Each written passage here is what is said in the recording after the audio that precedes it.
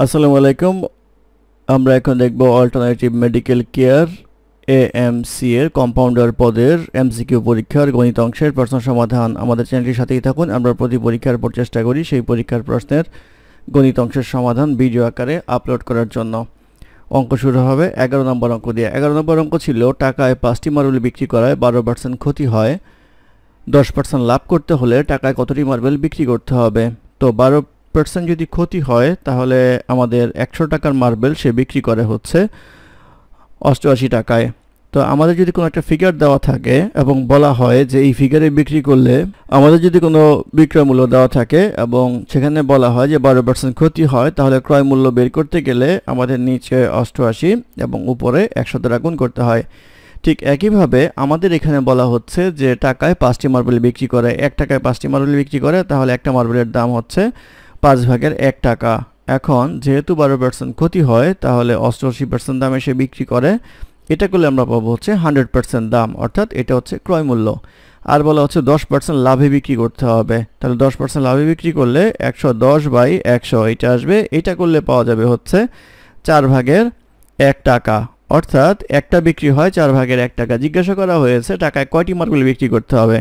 তাহলে একটা মার্বেলের দাম যদি হয় চার ভাগের এক টাকা, তাহলে এক টাকায় বিক্রি করতে হবে হচ্ছে চারটি। চারটি হবে হচ্ছে এই প্রশ্নের উত্তর। তারপর প্রশ্ন বারো, বারোতে বলা আছে শূন্য দশমিক শূন্য শূন্য এক ভাগ হচ্ছে শূন্য দশমিক এক গুণ হচ্ছে শূন্য দশমিক এক। তো এইটা করলে আমরা পাবো হচ্ছে শূন্য দশমিক শূন্য শূন্য এক। এটি হবে এই প্রশ্নের উত্তর। তারপর প্রশ্ন নাম্বার তেরো, নাম্বার তেরোতে বলা আছে x plus y equal to twelve এবং x minus y equal to eight হলে এক্সের মান কত?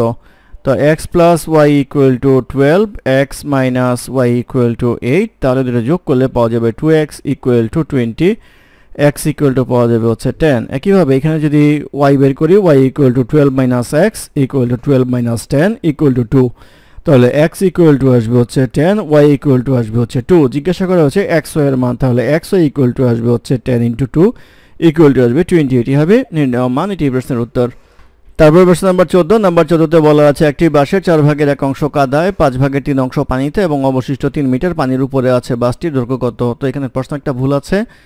পাঁচ ভাগের তিন হবে, প্রশ্ন দেওয়া আছে হচ্ছে তিন ভাগের পাঁচ অংশ। তো এটা ভুল হয়ে সংশোধনটা হবে হচ্ছে পাঁচ ভাগের তিন। তো ধরে নেই বাসের দৈর্ঘ্য হচ্ছে এক্স তাহলে এক্সের সমান সমান আসবে হচ্ছে আমাদের এক্সের চার ভাগের এক অংশ প্লাস হচ্ছে থ্রি এক্স বাই ফাইভ অংশ প্লাস হচ্ছে তিন মিটার। এই হচ্ছে পুরা বাসটা বা এটা করলে পাওয়া যাবে হচ্ছে x minus x by four minus three x by five equal to আসবে হচ্ছে থ্রি বা এটা করলে আসবে হচ্ছে twenty twenty x minus five x minus twelve x equal to three বা থ্রি এক্স ইকুয়াল টু আসবে হচ্ছে থ্রি ইন্টু টোয়েন্টি বা এক্স ইকুয়াল টু আসবে হচ্ছে টোয়েন্টি অর্থাৎ বাসের দৈর্ঘ্য হচ্ছে বিশ মিটার, এটি হবে এই প্রশ্নের উত্তর।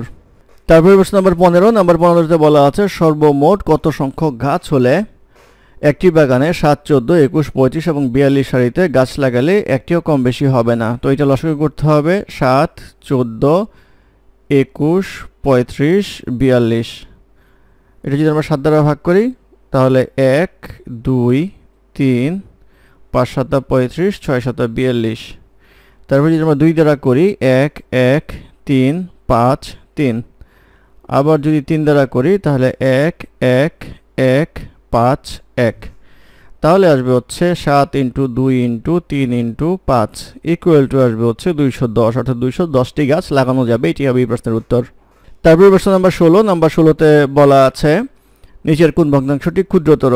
এগারো ভাগের ছয়, তারপরে দেওয়া আছে হচ্ছে পাঁচ ভাগের তিন, তারপরে দেওয়া আছে হচ্ছে আট ভাগের পাঁচ, তারপরে দেওয়া আছে হচ্ছে সাত ভাগের চার। তো দুইটা দুইটা কম্পেয়ার করব। এই দুইটাকে কম্পেয়ার করি, তাহলে এটা এটা গুণ করলে আসে হচ্ছে তিরিশ, এটা গুণ করলে আসে হচ্ছে তেত্রিশ। অর্থাৎ এভাবে গুণ করবেন, এভাবে গুণ করবেন। তাহলে ছোট হচ্ছে এইটা, তাহলে এইটা বাদ পড়ে গেল।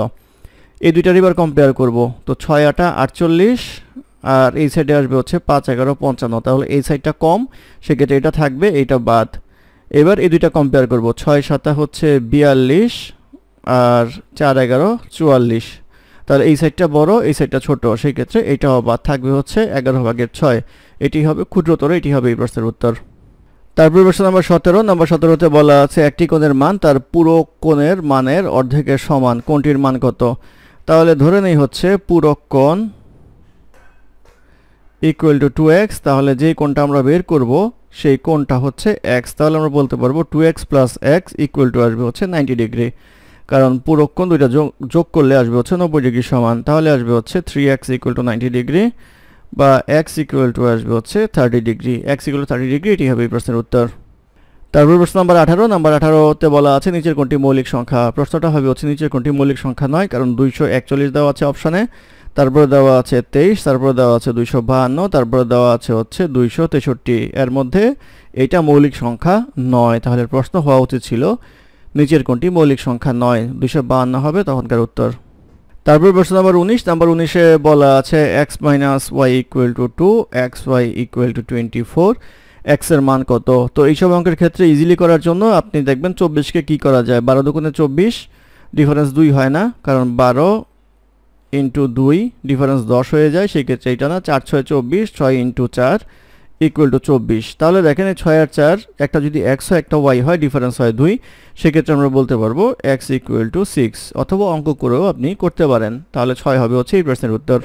তারপর প্রশ্ন নাম্বার বিশ, নাম্বার বিশে বলা আছে সতেরো সেন্টিমিটার, পনেরো সেন্টিমিটার, ওয়াট সেন্টিমিটার দৈর্ঘ্য বিশিষ্ট ত্রিভুজটি হবে। অর্থাৎ একটা বাহু হচ্ছে সতেরো, একটা হচ্ছে পনেরো, একটা হচ্ছে আট। ত্রিভুজটা কি হবে? তাহলে আমরা দেখব হচ্ছে সতেরো স্কোয়ার ইকুয়াল টু পনেরো স্কোয়ার প্লাস আট স্কোয়ার তাহলে এটা মিলে যায়, তাহলে এটাকে বলব হচ্ছে আমরা একটা সমকোণী ত্রিভুজ। এই সমকোণী ত্রিভুজ হবে হচ্ছে এই প্রশ্নের উত্তর। ধন্যবাদ আমাদের সাথে থাকার জন্য। আমাদের চ্যানেলটি ভালো লাগলে অবশ্যই সাবস্ক্রাইব করবেন, লাইক, কমেন্ট এবং শেয়ার করবেন। আমাকে কোনো সমস্যা থাকলে আমাদের কমেন্টে জানাবেন। আমরা চেষ্টা করব কমেন্টে রিপ্লাই দেওয়ার জন্য। ধন্যবাদ।